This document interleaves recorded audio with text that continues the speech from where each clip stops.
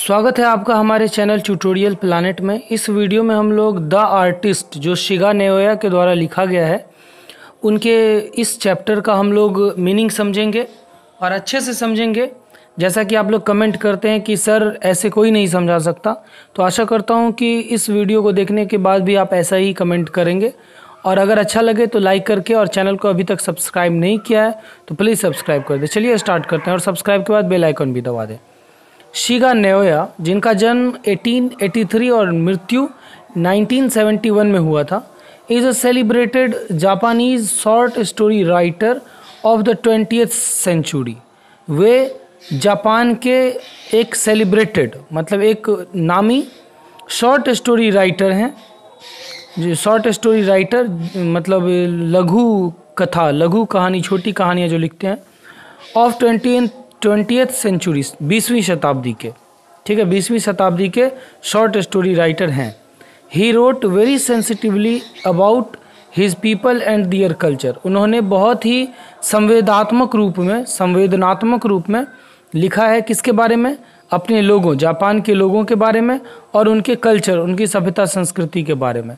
The artist ये जो chapter है अनफॉल्स अनफॉल्स का मतलब होता है प्रसारित करना, दिखाना। हमारे, हम लोगों को दिखाती है unfolds before before us the world of a talented Japanese boy एक टैलेंटेड जापानीज बुआ एक टैलेंटेड जापानी लड़का है, उसी के बारे में ये हम लोगों को दिखाते हैं, जिसका नाम है Seibei. It shows how the adult world often causes damage to such talents ये दिखाता है कि कैसे ये जो एडल्ट वर्ल्ड है, ये जो व्यस्क संसार है वो किस तरह एक टैलेंट को डैमेज करती है, किस तरह एक टैलेंट को दबाती है, एक प्रतिभा को दबाती है, इसी के बारे में कहानी है। तो चलिए कहानी शुरू करते हैं। है, पहला पैराग्राफ है, Seibei's parents knew that, Seibei के माता पिता जानते थे कि he often went out to buy himself gourds कि वो खुद बाहर जाता था, क्या खरीदने के लिए तो गॉड गॉड का मतलब होता है कद्दू। कदीमा आप लोग समझते होंगे, कद्दू, ठीक है? वो खरीदने के लिए जाता था। He got them for a few sen Japan की जो मुद्रा है, जैसे इंडिया में रुपया चलता है, उसी तरह जापान में सेन चलता है। तो वो कुछ सेन में वो खरीदता था कद्दू को and soon had a sizeable collection और शीघ्र ही और जल्द ही वो एक अच्छे साइजेबल कलेक्शन का कद्दू खरीद लेता था कुछ सेन में। वेन ही केम होम जब वो घर आता था he would first bore a neat hole in the top of the gourd वो सबसे पहले गॉड के टॉप पर मतलब कद्दू का जो ऊपरी सिरा होता है, जहाँ पर वो उसकी डंटी लगी रहती है, उसमें क्या करता था, वो एक छेद करता था, साफ़ सुथरा छेद एंड एक्सट्रैक्ट द सीड्स और उसके अंदर के जो बीज होते हैं, और उसके अंदर का जो मल होता है, जो गंदगी टाइप का होता है, वो निकाल देता था। नेक्स्ट उसके बाद ही अप्लाइड बता दें कि जो भाग कलर किया हुआ है, जो लाइन वो आपके ऑब्जेक्टिव क्वेश्चन में आएगा या आ सकता है। इसलिए मैंने कलर कर दिया है तो उस पर विशेष ध्यान दें। Next he applied tea leaves to get rid of the unpleasant gourd smell उसके बाद वो उस जिसमें वो छेद करता था, उसमें वो क्या करता था? कुछ चाय की पत्तियाँ डाल देता था ताकि वो जो अनप्लीजेंट गॉड स्मेल वो जो एकदम जो बेकार का जो गंध करता है कद्दू, उसके अंदर का भाग जो बेकार का गंध करता है, उससे छुटकारा पाने के लिए वो उसमें चाय की पत्ती डाल देता था। ठीक है? He then fetched the sack उसके बाद वो फेच मतलब होता है लाना जा करके लाना। और सेक का मतलब होता है, जापान में एक प्रकार का लिक्विड, पीने वाला जूस टाइप का होता है, जिसे सेक कहते हैं, जो चावल के रस से बनाया जाता है, चावल से बनाया जाता है, उसे सेक कहा जाता है। उसके बाद वो सेक लाता था, जो उसके पिताजी पीते होंगे तो उसके पिता के ग्लास में जो बच जाता होगा which he had saved up from the dregs dregs का मतलब होता है, जब जूस पीने के बाद जब ग्लास में कुछ बूंदे बच जाती है, उसे कहते हैं ड्रेग्स ठीक है? तो इन हिज फादर्स कप अपने पिता के कप में जो ड्रैग्स बच जाते थे, जो बूंदे कुछ बच जाती थी, उसे वो बचा लेता था। And carefully polished the surface उसके बाद वो उस ड्रैग्स से, उस बूंदों से वो कद्दू के चारों बगल, उसके सरफेस को, उसके सतह को अच्छे से वो पॉलिश करता था, साफ़ करता था। दूसरा पैराग्राफ है, Seibei was passionately interested in gourds Seibei जो है, वो पैसनेटली पैशनेटली का मतलब होता है पूरे जुनून से। वो उसका जो इंटरेस्ट है, उसकी जो रुचि है, वो पूरे जुनून के साथ किसमें था? गॉड्स में था, कद्दू में था। मतलब कद्दू को नया नया कद्दू अच्छा अच्छा कद्दू खोज के लाना, उसको चमकाना, उसके अंदर के बीज को साफ़ कर देना, वो सारा इसमें है, आगे पढ़ेंगे तो आप समझ जाएँगे। वन डे एक दिन as he was strolling strolling का मतलब होता है घूमना, भटकना, ठीक है? Strolling along the beach beach पर, नदी के किनारे जो होता है बीच होता है, उसे कहते हैं नदी के किनारे वाले जगह जिस पर लोग घूमते हैं, उसे बीच कहा जाता है। उस बीच पर वो घूम रहा था।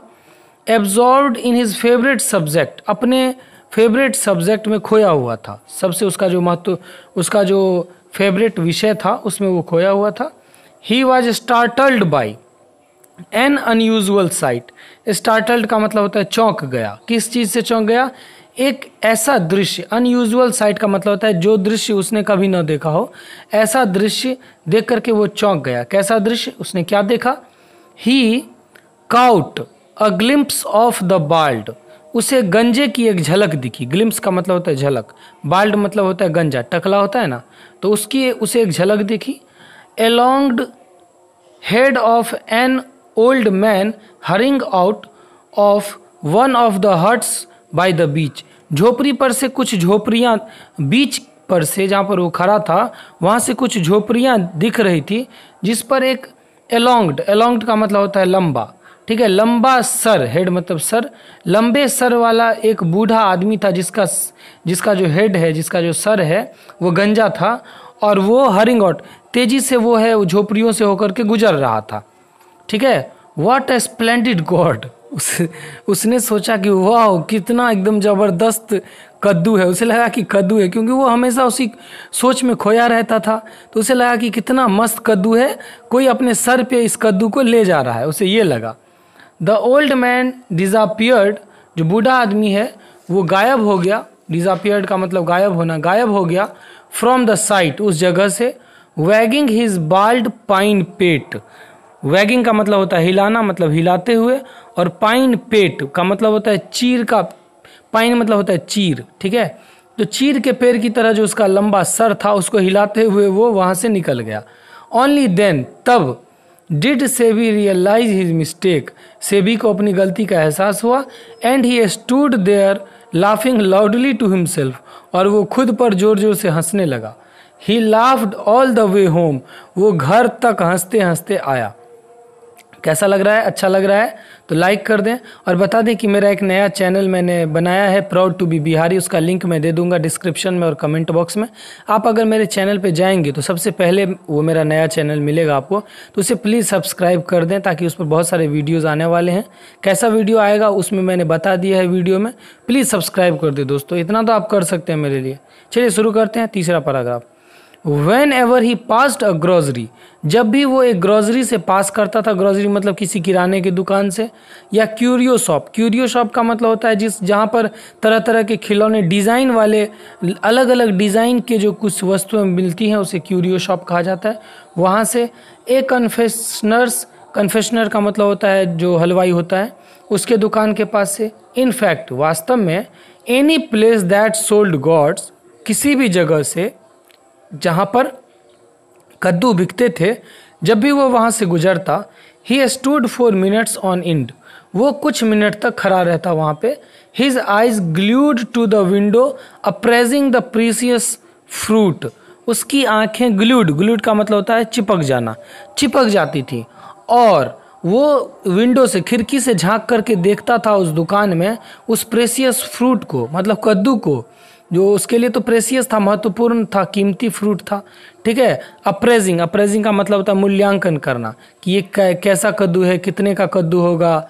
ठीक है? ये सब चीज़ें वो सोचता रहता था, जब भी किसी दुकान से गुजरता। अगला है, Seibei was twelve years old and still at primary school Seibei बारह साल का लड़का था और अभी भी वो एक वो प्राइमरी स्कूल में ही था। ठीक है? क्योंकि उसे पढ़ने में मन नहीं लगता था, उसे इसी चीज़ में मन लगता था। आफ्टर क्लास क्लास के बाद instead of playing with the other children दूसरे बच्चों के साथ खेलने के बजाय he usually wandered about the town वो सामान्यतया शहर के इधर उधर घूमता था लुकिंग फॉर गॉड्स कद्दू की खोज में. देन इन द इवनिंग फिर शाम में he would sit cross legged वो पैर मोड़ करके बैठ जाता in the corner of the living room, जिस रूम में वो रहता, उस रूम के कॉर्नर में, कोने में, working on his newly acquired fruit. वो जो नया, जो अपना फ्रूट लाया था, जो कद्दू लाता, उस पर काम करने के लिए बैठ जाता। When he had finished treating it जब वो इसका ट्रीटमेंट इसका, उसका जो ट्रीट वो जो करता था, बीज निकालना पॉलिश करना, ये सब जब कर लेता ही पोर्ड इन अ लिटिल सेक वो उसमें कुछ लिटिल सेक डालता ठीक है वो से एक समझा दिए हम। Inserted cork stopper cork stopper का मतलब होता है छेद को बंद करने के लिए जो कॉर्क जो रबर लगाई जाती है which he had fashioned himself जो कॉर्क उसने खुद बनाई थी wrapped it in a towel उस कद्दू को एक टॉवेल में लपेट कर, एक तौलिए में लपेट कर put this in a tin tin मतलब वो specially kept for the purpose मतलब वो एक टीन बनाया था। टीन तो आप समझते हैं, टीना जो होता है उसमें वो क्या करता, उसको रख देता। जो सिर्फ़ वो कद्दू को रखने के लिए उसने वो टीन का बनाया था, कद्दू रखने वाला। एंड फाइनली और अंत में place the whole thing in the charcoal foot foot warmer charcoal foot warmer का मतलब क्या होता है? चारकोल समझते हैं कोयला। और जो फुट वार्मर का मतलब होता है ठंडी के दिनों में, जो पैर गर्म करने के लिए, ठीक है, आग तापना हम लोग कहते हैं। तो आग तापने के लिए, पाँव सेकने के लिए जो हम लोग चारकोल जलाते हैं, जो कोयला जलाते हैं, उसके ऊपर में वो उस टीना को रख देता। Then he went to bed उसके बाद वो बेड पर चला जाता सोने के लिए। अगला पैराग्राफ पढ़ते हैं। एज सुन एज ज्यों ही he woke the next morning अगले सुबह वो उठता ही वुड ओपन द टीन वो टीन को खोलता एंड एग्जामिन द गॉड और गॉड को ध्यान से देखता। परीक्षण करता उसका। The skin would be thoroughly damp अब जब आग में पकती वो, ठीक है, आग का जब तौ लगता था उस गॉड पे, उस कद्दू पे तो वो थॉरली डैम्प हो जाता। थॉरली डैम्प का मतलब होता है, वो गीला टाइप का, चिपचिपा टाइप का, नम हो जाता उसका चमड़ा, उसका स्किन कद्दू का। फ्रॉम द ओवरनाइट ट्रीटमेंट पूरी रात जो उसके, उसका जो ट्रीटमेंट होता आग में, उसकी वजह से वो नम हो जाता, ठीक है, एकदम सॉफ्ट हो जाता। Seibei would gaze adoringly at his treasure treasure का मतलब होता है खजाना। और एडोरिंगली का मतलब होता है एकदम प्यार से। ठीक है? वो क्या करता है? एकदम प्यार से अपने खजाने को देखता। गेज मतलब होता है निहारना, ध्यान से देखना। अपने खजाने को देखता मतलब उस कद्दू को देखता। Before tying a string around the middle जब मतलब मिडिल मतलब कद्दू के बीच में स्ट्रिंग का मतलब होता है तार और टाई का मतलब होता है बांधना। कद्दू के बीच में तार से बांधने से पहले वो उससे देखता अच्छे से and hanging it in the sun to dry मतलब सूरज के धूप में धूप में वो जब उसे सुखाने के लिए देता, उससे पहले वो देखता उसे प्यार से। Then he set out for school उसके बाद वो स्कूल के लिए तैयार हो जाता। Seibei lived in a harbour town Seibei एक हार्बर टाउन में रहता था। हार्बर का मतलब होता है बंदरगाह। बंदरगाह आप लोग समझते हैं? बंदरगाह मतलब नदी के किनारे में, समुद्र के किनारे में जो शहर रहती है, उसे बंदरगाह कहते हैं। उस टाउन को, उस शहर को बंद हार्बर टाउन कहते हैं। तो सेबी एक हार्बर टाउन में रहता था। ऑल दो यद्यपि it was officially a city ये एक ऑफिशियली एक शहर था, ठीक है? लेकिन छोटा सा शहर था, जापान भी एक छोटा सा देश है तो उसमें शहर भी छोटा छोटा होगा। One could walk from one end to other in a matter of twenty minutes कोई भी व्यक्ति सिर्फ़ 20 मिनट में उस शहर के एक छोर से दूसरे छोर तक जा सकता था। Sebi was always wandering about the street Sebi हमेशा गलियों में घूमता रहता था एंड हैड सून और जल्द ही come to know every place हर जगह की जानकारी उसे मिल गई। हर जगह के बारे में वो जान गया दैट जहाँ सोल्ड गॉड्स जहाँ कद्दू बेचे जाते थे and to recognise almost almost every gourd on the market और मार्केट के हर एक कद्दू को वो पहचानने लगा था कि कद्दू कितने प्रकार के होते हैं। ठीक है? चलिए अगला पैराग्राफ देखते हैं। He did not care much about the old gnarled gnarled मतलब होता है ऐठा हुआ या हठीला। जो ऐठा हुआ जो कद्दू होता है, जो टेढ़े मेढ़े जो कद्दू होते थे उन्हें वो केयर नहीं करता, उस पर वो ध्यान नहीं देता, उन्हें पसंद नहीं था। पिकुलियरी फॉर्म्ड गॉड्स पिकुलियरी का मतलब होता है अजीब, गरीब, अजीबो, गरीब ढंग से जो कद्दू बने होते थे, टेढ़े मेढ़े कद्दू यूजुअली फेवर्ड बाय कलेक्टर्स जो दूसरे जो कलेक्टर होते थे, दूसरे जो कलेक्टर का मतलब होता है जो कद्दू बेचने वाले होते थे, वो जो जमा करते थे, उन कद्दुओं को ये पसंद नहीं करता था। The type that appeals to Sebi was even and symmetrical कद्दू को, सेबी को जो कद्दू पसंद थे, वो इवन होते थे। इवन का मतलब होता है समान मतलब उसका जो लंबाई, चौड़ाई होता है, वो सेम होता था। और सिमेट्रिकल कद्दू होता था। सिमेट्रिकल मतलब ऐसे ऐसे गोल टाइप का कद्दू, ठीक है? इसका पिक मैं दे दूँगा, आप लोग देख सकते हैं। दैट यंगस्टर्स ऑफ़ योर्स अब देखिए, अगला पैराग्राफ में क्या है कि उसके घर पर, सेबी के घर पर कोई मेहमान आया था उनसे मिलने, उसके पिता के से मिलने के लिए तो क्या बात होती है? That youngster of yours only seems to like the ordinary looking ones वो आदमी कहता है कि तुम्हारे बच्चों में सिर्फ़ एक बच्चा एकदम साधारण दिख रहा है। Said a friend of his father उसके एक पिता के दोस्त ने, उसके पिता के किसी दोस्त ने कहा who had come to call जो उनसे भेंट करने के लिए आया था। ही पॉइंटेड एट द बुआ उसने लड़के की तरफ़ पॉइंट किया, इशारा किया। Who was sitting in the corner busily polishing a plain round gourd जो लड़का किसी कॉर्नर में बैठकर, कोने में बैठकर उस गोल कद्दू को प्लेन करने में पॉलिश करने में बिज़ी था, उसकी तरफ़ इशारा करके दिखाया उसके पापा के दोस्त ने कि ये लड़का एकदम सिंपल दिख रहा है। Fancy a lad spending his time playing around like that with gourds उसके पिता ने क्या कहा कि ये जो लड़का है, वो अपना जो टाइम है स्पेंड मतलब होता है बिताना, वो अपना सारा टाइम खेलने के बजाय इस कद्दू के साथ खेलने में बिताता है। कद्दू के साथ ही वो खेलता है।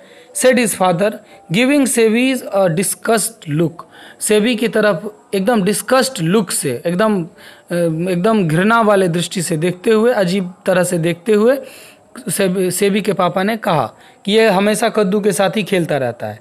सी हेयर इधर देखो।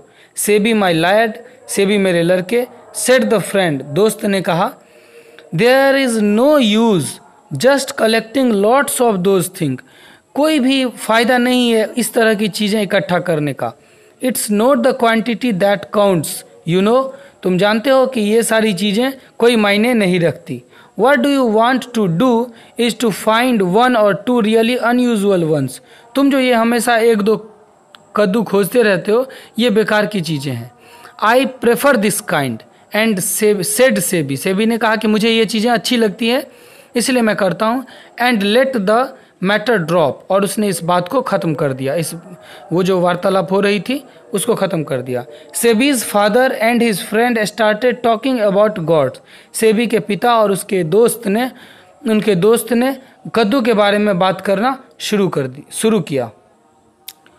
क्या बात करना शुरू किया? Remember that Bekin's gourd Bekin किसी शहर का नाम है, ठीक है? बेकिन्स होगा यहाँ पे।